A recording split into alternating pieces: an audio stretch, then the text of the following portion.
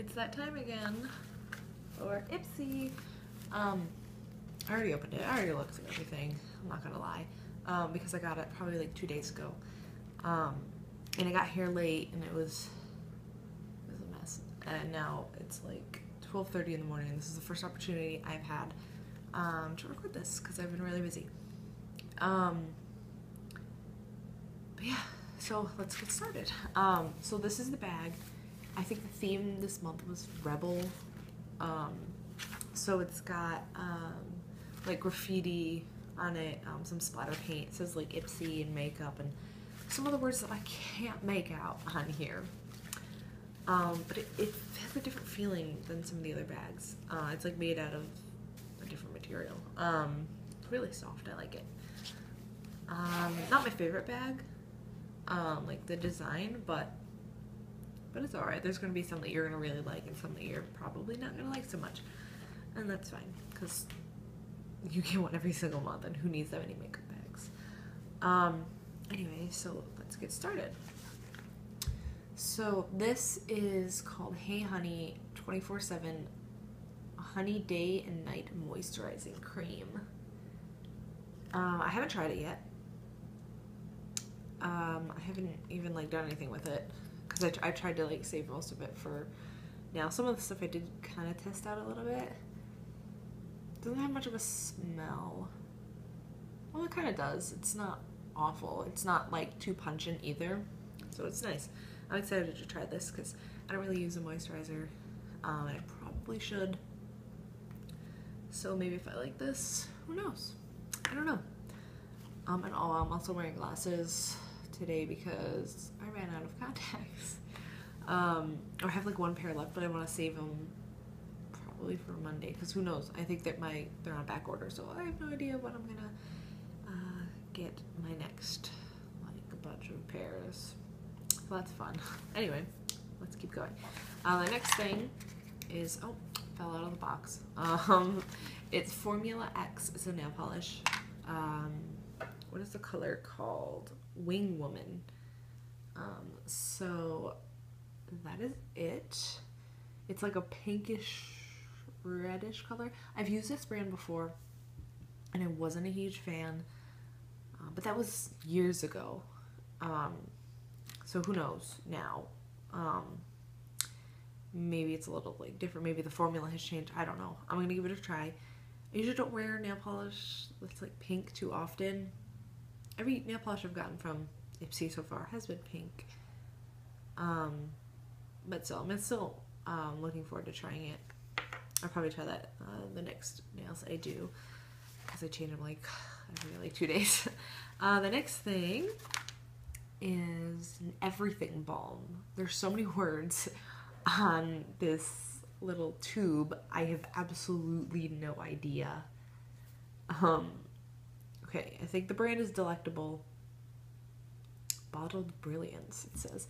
And it says it plumps, pouts, and glosses lips. It seals split ends, which that's kind of cool. Softens heels, tames brows, conditions cuticles, pops cheek cheekbones, brightens dark circles, nourishes dryness.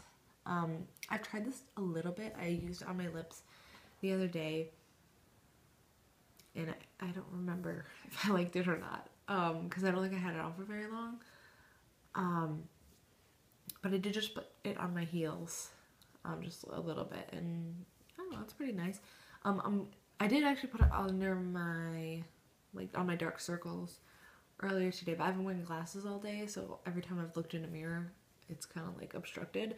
So I'm gonna give this a good try and see what happens. Maybe I'll try it in my hair. Um, yeah, I don't know. I've never heard of anything like that. And I guess I think the I don't know scent flavor. It's not a color. It's a colorless, but whatever it is, is sweet cream. Um, so yeah, the next thing is a blush by Seraphine Botanicals. And I think the shade is Happy Hibiscus, possibly. This is the box, partially open because I had to open it beforehand, because I already looked at it, um, and it was really difficult to open that box. Um, this is the little compact. It's pretty cute. I actually um, quite like it. But I don't wear blush that often. Um, it is a very nice color. It's slightly shimmery, but not too bad.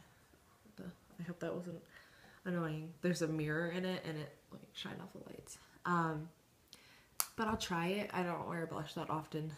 Um, one of my coworkers also got this and she told me she used she tried the blush out as an eyeshadow and it worked really well so I, am probably going to try that as well um, and see what happens um, but it's said on here it's 99% natural vegan hypoallergenic gluten-free and a whole bunch of other stuff there's a whole big list and it's not tested on animals which is very important to me uh, it's GMO free and a whole bunch of other stuff some words I don't even know how to pronounce them probably because I didn't try to anyway, the last thing is Urban Decay.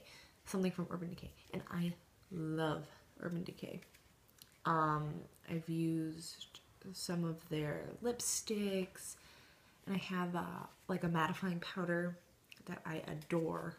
Um, even though if you drop it, it breaks. You just have to be really careful with it. Um, but I do like it a lot. Um, this is an eyeshadow. I've never tried their eyeshadows before. Um, but it's really neat. It's just really small. Um, and I'll take it out of the package because this packaging is crazy. Um, a, a lot of it's also in French. Um, what's the shade? Does it even say? Is this something about lounge? But that might be the type of eyeshadow. I have absolutely no idea. Um, it's a duotoned eyeshadow.